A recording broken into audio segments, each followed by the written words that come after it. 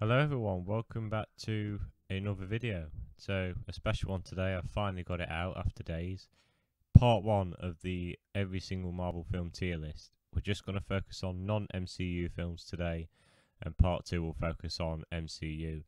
All in the same tier list. Remember, this is just my opinion, everyone has their own opinion, so if you disagree with anything, don't be a weirdo and an idiot about it. You know, I like to I like to have opinions, so if you have any criticisms about this video, please do it nice and politely. But enjoy the video, hope it goes well. I look out for part 2 in a few days. Enjoy. Hello, welcome back to another video. Part 1 of the tier list. I know I've said all this in the intro just before this, so we're just going to go straight into it. Make sure to look out for part 2 in the next few days. Right, that's it. So first off, Howard the Duck. The first theatrically released uh, Marvel film it's really not good. The only good things I can say about this film is that the voice acting of Howard was good and the design of Howard was good. But that's it. That's all I can say positively about this film. This film is not funny. The effects are garbage. The acting's garbage. The action's terrible. This is really not a good way to kick off Marvel films. And we're going to put it straight into the D tier. Next up, Hulk, Ang Lee's Hulk from 2003. I can see what this film was trying to do. It was trying to make a good film about anger and relationships and how anger can affect relationships, but it, it just did not work for me. It was mostly the editing, like they do like these comic book transitions, and they were just really distracting. They just did not fit the film, and I'm glad we don't do that anymore because it's just really weird and it does not fit anything. There's something that go well with comics and some things that go well with films. Obviously, that was just something that didn't go with films. So I'm going to put Ang Lee's Hulk in the D tier, only, but I'm going to put it against over Howard the Duck, most because it is trying to be a good film, whereas Howard the Duck just wasn't. Next up, Punisher. I have seen this film and it is really bad. Really, really bad. Um, but in a good way. It's a fun film where you can just laugh at it and have no problems. You know, it's a fun way to get away from the problems of the world and just laugh at a film. Uh, we're going to put it in C tier because it's not a bad movie that deserves to go into D tier because it is that funny and hilarious and so enjoyable. Unlike Hulk and Howard, which are just completely boring, this one is actually very enjoyable. Next up, the first ever Spider-Man, Sam Raimi's Spider-Man with Tobey Maguire. Yeah, it's going straight into the A tier. You know, it's, it's a classic. You know, everyone loves Sam Raimi's Spider-Man trilogy, uh, but you just can't not love this film. The first two films you just can't not love. There is so much to love about this film. The only problems I have, the effects are really bad nowadays. Um, just some of the acting's a bit corny, but it adds to the charm of this film, and I just love this film. But one film that's better, Spider-Man 2. In my opinion, the best live-action Spider-Man movie. This film is nearly flawless. I love this film.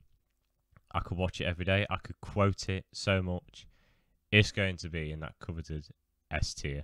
But onto not a so good film, Spider Man 3. I don't like Spider Man 3. It's very mediocre. It does have some good moments, but there's just way too much going on. There's characters that are just not, just don't need to be there. And it's just laughable. There was nothing, it just didn't, wasn't compelling enough. And I blame Sony for it, not Sam Raimi but I do somehow get some enjoyment. It's not a film that I would not watch ever again. I'll still watch it. I put it in the B tier, mostly because it does have some good things in it and some bad things, but I think most of the stuff outweighs the bad things. Next up, a film called Elektra. Who remembers this film? Um, yeah, it's really bad. It's really boring. Like, I completely forget about this film. I've seen it twice. Second time was just for this, and it's just really bad. There is so little to like about this film. Jennifer Garner tries, but that's it. Um, I would definitely watch this over Howard the Duck, but I wouldn't watch it over Hulk. Uh, mostly because Hulk in some ways was entertainingly bad, but Elektra just was not good at all. It was just plain boredom. Next up, the Fantastic Four. I'd say it's the second best Fantastic Four film, but not like it's got any competition. Uh, it's got to go the D tier, but I am going to put it over Hulk and all the others. That's because there is some good things. I do like the thing. I think he's a great character. I think he's well developed, and you do feel a bit of emotion with him. But apart from that, that's all this film has good merits going for it. It's really, really that bad. Uh, I know some of these are going to be out of order, by the way, um, but you just got to get used to it. Next up, X Men The Last Stand or X Men 3. I like the first two X Men, we'll get to them soon, but I'm not a fan of 3. I do like some parts of it. I think the final battle is really good, but the problem is there's just two plots that just don't intertwine with each other well. There's just way too many characters, mostly because of merchandising. But there is some good stuff here. I'm going to put it over the Punisher. Oh, not in B tier. Yeah, put it over Punisher. Because there is some good movie elements there. Mostly the acting was good. As I said, the final battle, but that that that's it. That that's all this film really has going for it. Next up, Ghost Rider. Nicolas Cage. Um, yeah, this film is really bad, but it's again, it's like The Punisher. It's just so funny. Nicolas Cage, I love the guy. He's a brilliant actor, but in this, I just love Mad Nicolas Cage. And it's going straight into the C tier, just below X Men Last Stand. I, I love this film. It's that bad, that corny, that stupid, but I just don't care. I could watch this film all the time. It is that bad. Fantastic Four Rise of the Silver Surfer. My opinion, this is the best Fantastic Four film we have. Not like, again, not like it's got competition, but it, it does have some good parts. Um, but it was mostly just the ending. The Silver Surfer was just so stupid. Galactus is a giant anus cloud. Like, what, what the hell is that? Overall, I would not watch it over The Punisher. It's going to be the lowest ranked out of the C tier so far. Yeah, it's better than the first Fantastic Four and all the other Fantastic Four films, but nothing really that much going for it. The Punisher, the 1980s Punisher. This film is so bad. It's worse than this Punisher, but I'll still have a fun time with it because it's even more bad and even more enjoyable. There's so many quotable lines that are just so garbage, but I just don't care. I love it. This film is not as good as this Punisher, but I am going to put it in the D tier, just below Fantastic Four, because Fantastic Four does have some better good movie merits for it. The Amazing Spider Man, Andrew Garfield. Now, whatever I say, people will be a bit annoyed because I know there are some people who like these movies, and that's perfectly fine, but I don't really like this film. I wouldn't say it's bad. I wouldn't even say it's good. I'd just say it's mediocre. The main problem was it just did not get Spider Man for me. And it's going to go below Spider Man 3 in B tier. I think Andrew Garfield's great. I do see people hate on him a lot, but I don't think it was the problem. I think all the acting's really good, but it's just the villain, the way they portrayed Spider Man, plot lines that just disappear. One example is Uncle Ben's killer. It, just felt really inconsistent. But an even worse film, The Amazing Spider Man 2. To date, this is the worst Spider Man movie made. It's going to go straight to D tier. I don't even. I would watch it over Elektra and Howard the Duck, but not as good as Hulk. The, uh, Spider, the Amazing Spider-Man 2 is just so much going on. Storylines that are underdeveloped. The villains are really bad. There's just not much to like about this film at all. It's just boring. Nothing's that good about it, apart from the relationship between Gwen Stacy and Peter Parker, but that's it for me. Next up, Punisher Warzone. Um, yeah, it's the most recent Punisher film we've got and it is probably the best one. Uh, again, it's just hilarious. I would put it in the C tier, just below X Men Last Stand. Because of how funny it is sometimes. It's just so good. This film. I love I love films that are just really corny and bad because you could just have a great time with them and just forget about everything. But onto a film that is bad and not a good film, X Men Origins Wolverine. Straight down there, just above Howard the Duck. I hate this movie. The only positive, Hugh Jackman's great as Wolverine. Everything else, story inconsistencies, timeline inconsistencies, stupid plot lines, stupid characters, garbage special effects, and that Deadpool. Oh my god. Uh, the sequel to Ghost Rider, Ghost Rider Spirit of Vengeance. It's not good, this film. It's worse than the first Ghost Rider. Nicolas Cage just was really annoying in this film. His madness just really got to me in this film, and I didn't like it. Um, it's going to go in the D tier. I would watch it over Hulk, but not as good as the 80s Punisher film. But onto a good film, X Men First Class. I like First Class. I think it was a return to form after this piece of poop.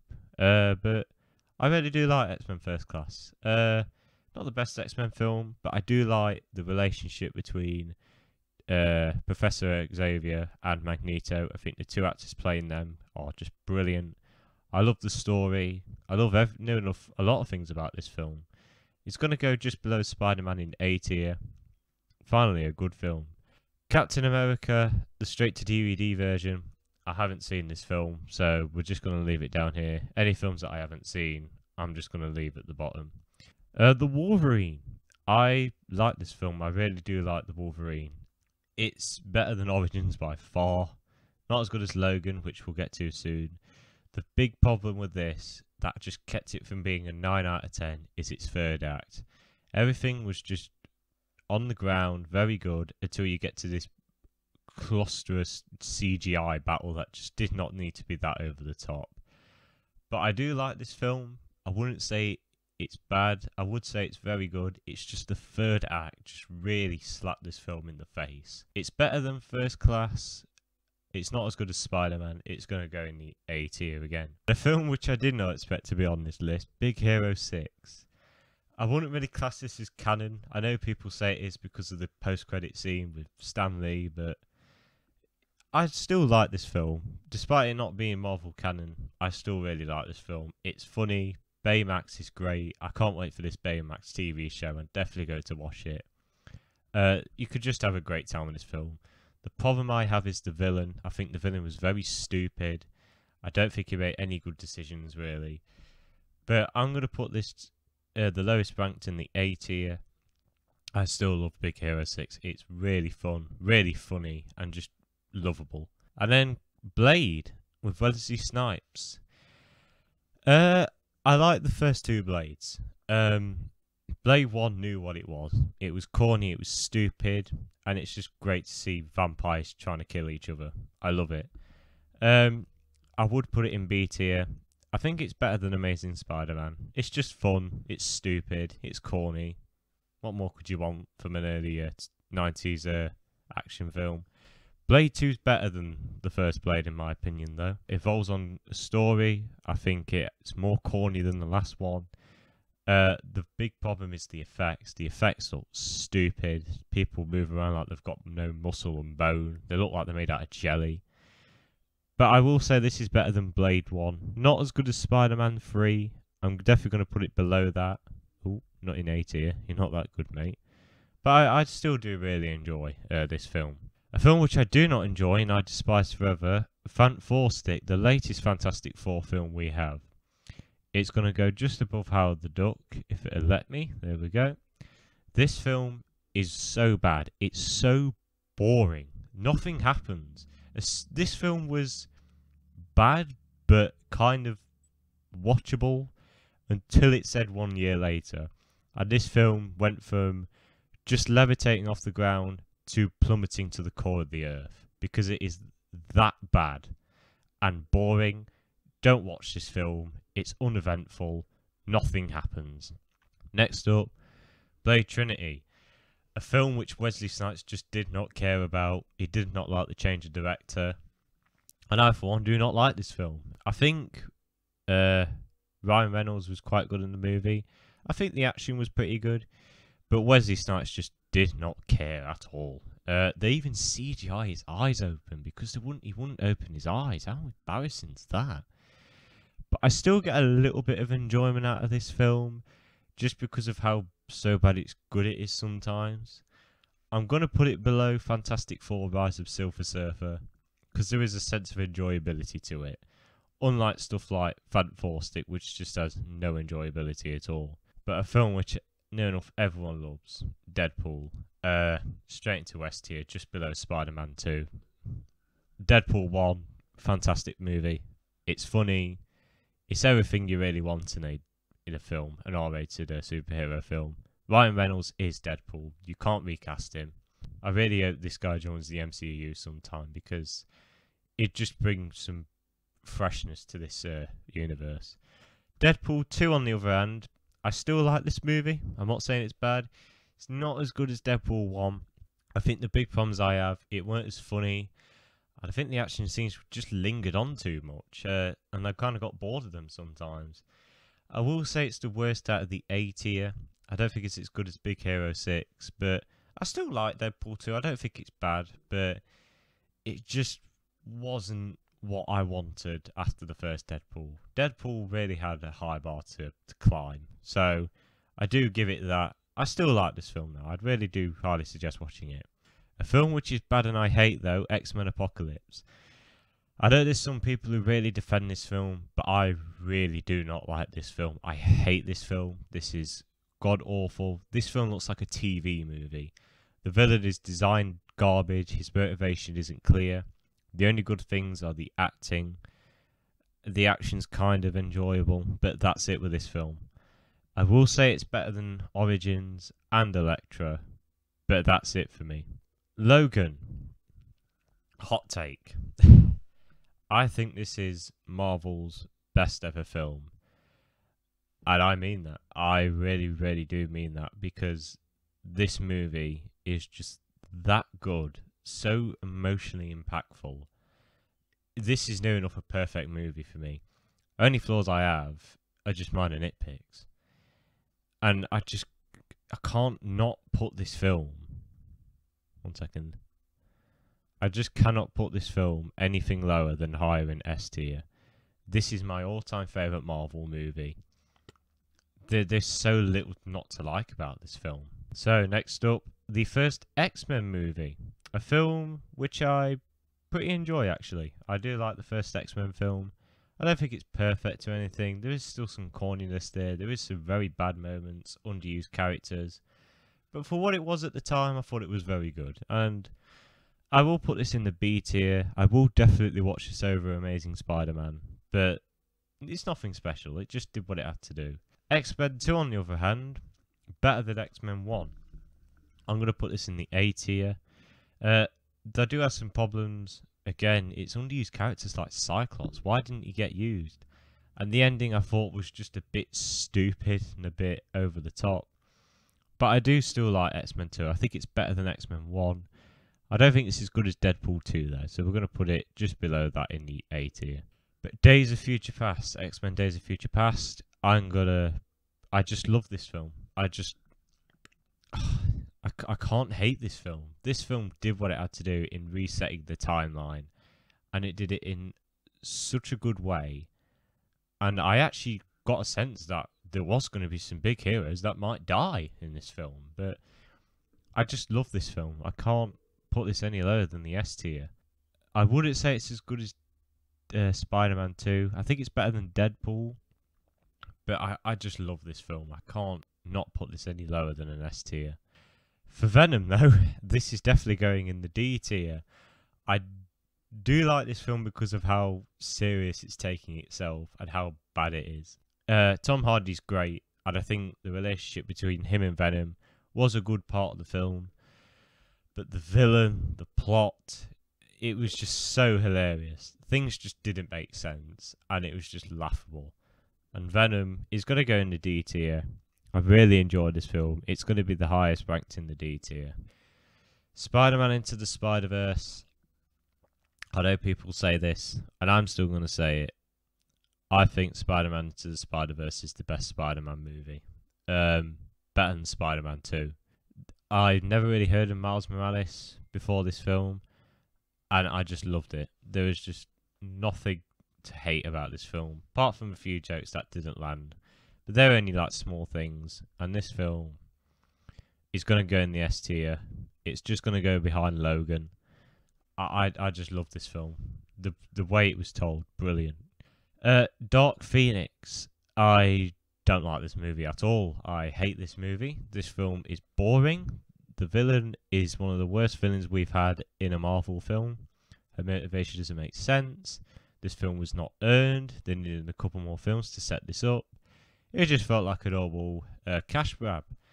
Uh, we're going to put this in the D tier. Uh, I would watch it over Spirit of Vengeance, but it's it's not as good as the 80s Punisher.